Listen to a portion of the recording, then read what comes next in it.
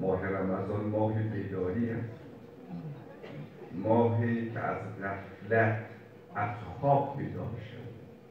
چند کس در ماه رمضان مشمول غفران خدا نمیشه وقتی پیغمبر آمد ماه رمضان تعریف کرد شهر دوید و فی الا الله همه مهمان خدا اما یک عده سر سفره مهمان خدا قرار نمیده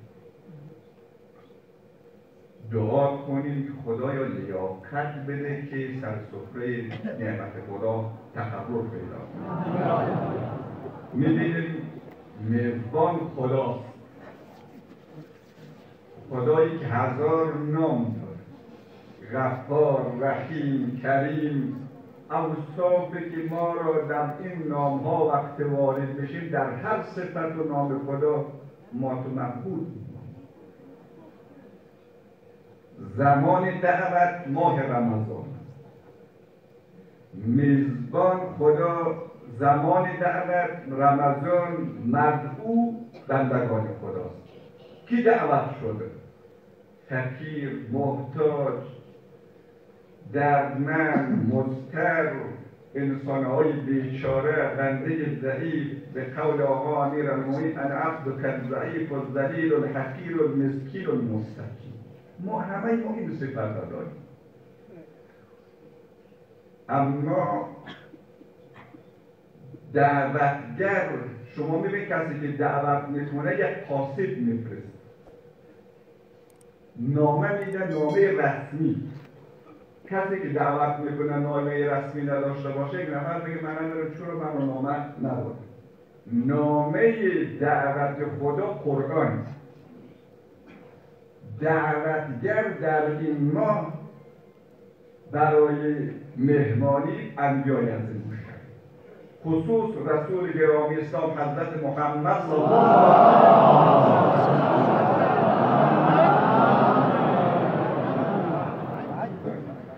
وقت وارد این ماه می‌شویم انسان اهل کرامت حساب میشه که خطبه شعبانه مفصله. همه نفس چی میشه؟ خواب انسان دعای انسان.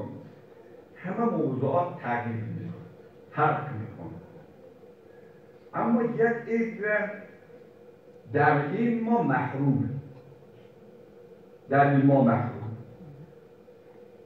سه کس از زبان پیغمبر گرامی اسلام آمده که شکی تعریف شده. انسان شکی و بدبخت.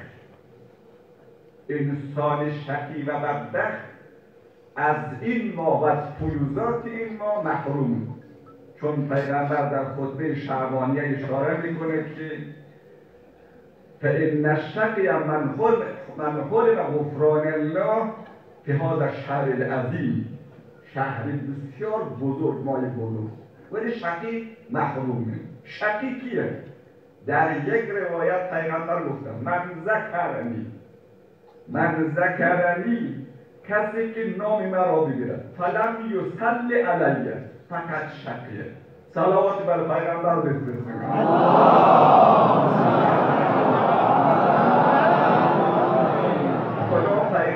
خیلی دوست وقتی که ان الله و ملائکته یصلون علی النبی یا ایها الذین آمنوا صلوا علیه و سلموا تسلیما صلوات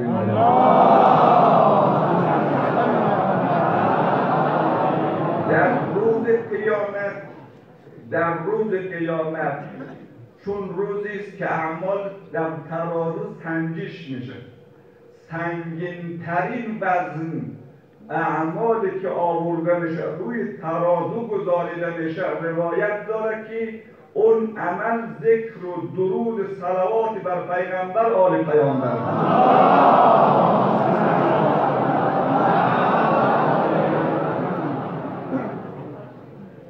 آیا این کشی جای است.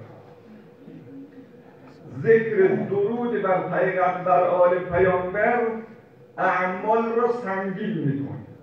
اما آدم شکی و بدبخت پیغمبر میگه وقتی نام مرا می‌برم نام ما برده میشه درود نمیفرست لحاظا می‌خواهیم که اعمالمان را سنگین کنیم پیغمبر و اطرت پیغمبر را دوست داشته باشیم.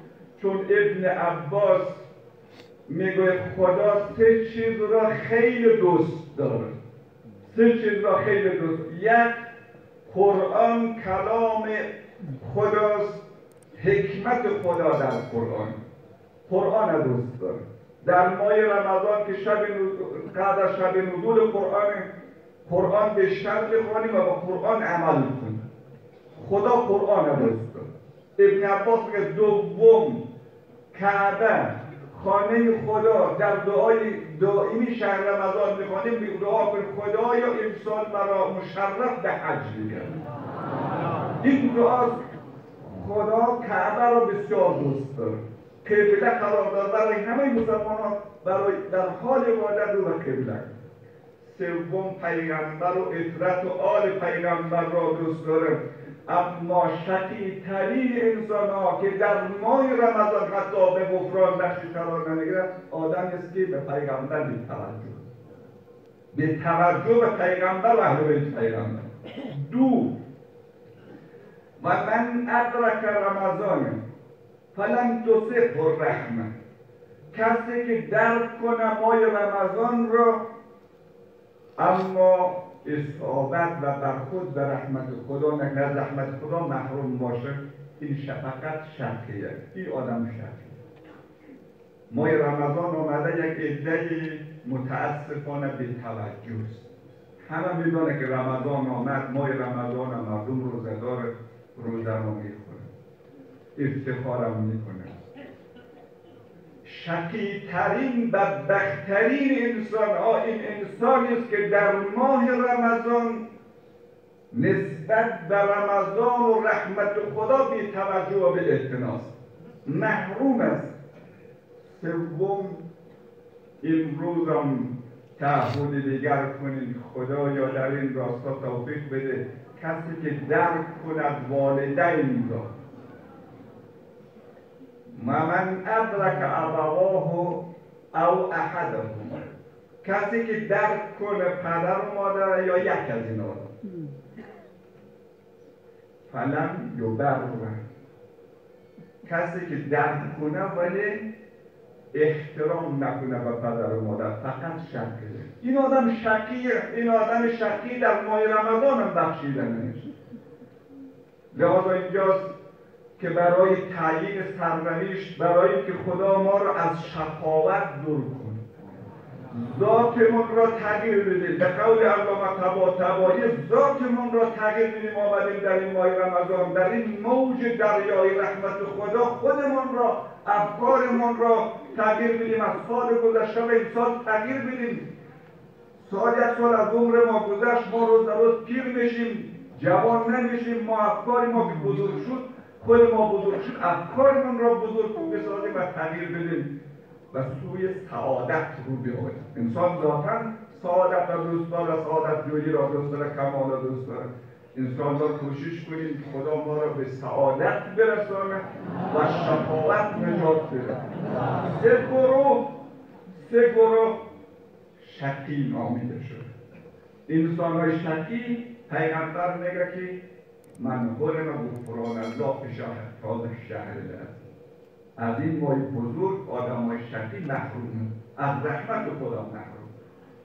لحاظا کوشش ما باشه که هم احترام والدین حفظ کنیم هم احترام و توجه به پیغمبر و اهل بیت پیغمبر داشت. هم احترام حرمت ماه رمضان را حفظ کنیم خدایا معرفت و کمال جلال فضل زیبایی ارزش های ماه رمضان را ما بشناسیم اینجا عزیزان پیغمبر در مسجد نبی آمد بالای پله منبر بالا می‌شد.